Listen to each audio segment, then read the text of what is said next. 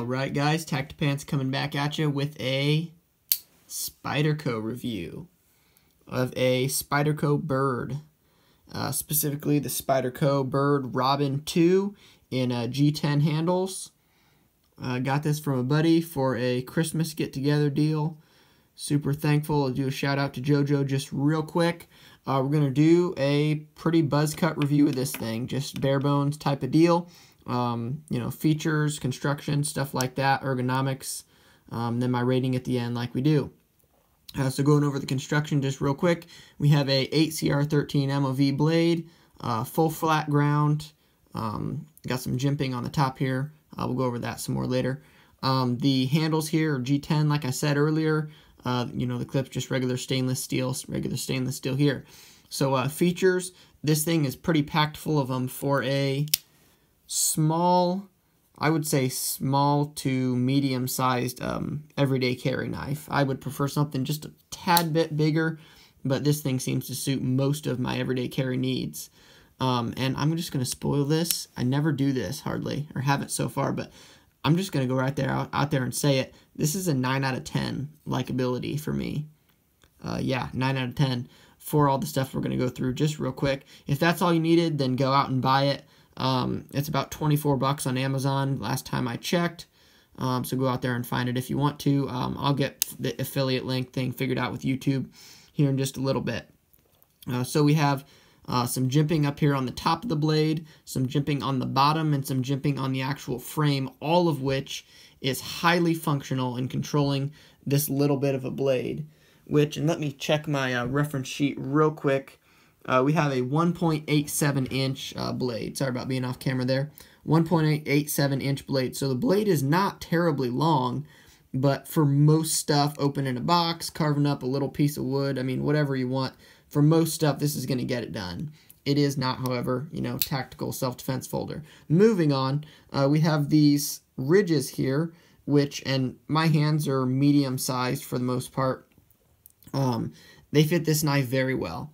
I'm able to get all of my fingers on comfortably, fit my thumb in that uh, jimping there, and get a whole bunch of control, as much even as the much larger knives, knives with three and a half, four inch blades, for this very small, you know, knife overall. I mean, you see the, just the pocket clip takes up almost, you know, the entire knife, three quarters of the knife. Um, so these um, Finger grooves here are very comfortable and ergonomic. This little flat shelf here is what you kind of use for your pinky finger there. Um, you know, kind of be able to adjust as you're uh, cutting whatever you need to do. Uh, going back to construction just for a second, this thing is put uh, fully together with Torx screws, I believe T7 variety, and then the pivot screw is a uh, T8. Um, and I did switch the pocket clip from tip up to tip down because it carries deeper in the pocket that way for this particular knife, and I dig it. Uh, the clip is pretty much awesome, nothing to write home about, standard Spyderco. You're not going to have to tighten it, you're not going to have to screw around with it. Pick a position that you like, one of four, because you have right hand, left hand, tip up and tip down, whatever kind of flavor you want. Uh, you'll be happy with that. Uh, these screws are um, like one-sided, so you have, you know, your one side of the push pin here, um, you know, once you take out that screw, you'll push the pin out, and uh, you can take this thing completely apart and disassemble it, which I haven't yet, but if you get it into sand or gunk or whatever, then you can. Uh, I actually everyday carried this um, on a recent trip to Mexico, and it worked out great, real lightweight and stuff for wearing shorts and whatnot. Uh, just kind of a side note. Uh, moving back here, uh, all the way to the back, because we're moving kind of uh, from the blade backwards towards the back, we have a lanyard hole, and of course your three screws move the pocket clip. This lanyard hole is too small for 550 cord, but um, I don't know, something else might work if you wanted to throw a smaller zip tie in there, like I have on my small Kershaw, or uh, some other type of lanyard that might work well. Um, moving up, you have uh, full steel liners in this, by the way, if anybody didn't notice. And you can see in there, they are skeletonized to try to reduce some of the weight. Um, don't have my flashlight on me to show you guys inside there.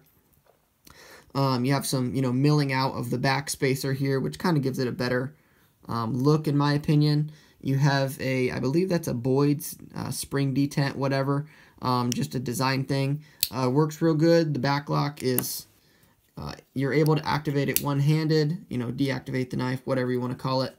uh, open it, close it, whatever. That all works great.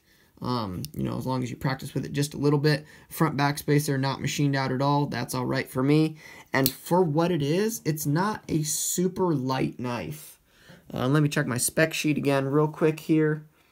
Uh, 2.5 ounces. So it's not like an ultralight knife. If I could change one thing about this, the only thing I would change is for it to have um, skeletonized on the back, not skeletonized, um, to not have a back spacer, to be like pillar construction, um, like a couple other Spydercos are, and a couple other of my knives are. That would just bring the weight down a little bit, and really, honestly, all that is, is making it easier to clean. So when there's pocket lint or you get it in the mud and there's gunk down in there, you can blow into this little vent or blow into the back and clear all that out. But uh, overall, 9 out of 10, really solid knife. I've been everyday carrying this for a while.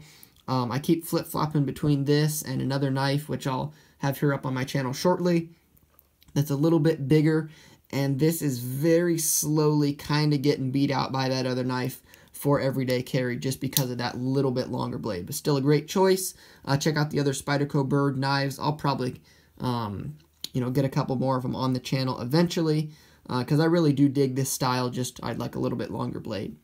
So uh, that's me, Tactipants, shooting out this review. Uh, like, comment, subscribe if you want to. I'll check back with you guys later. Thanks for watching. Have a great day.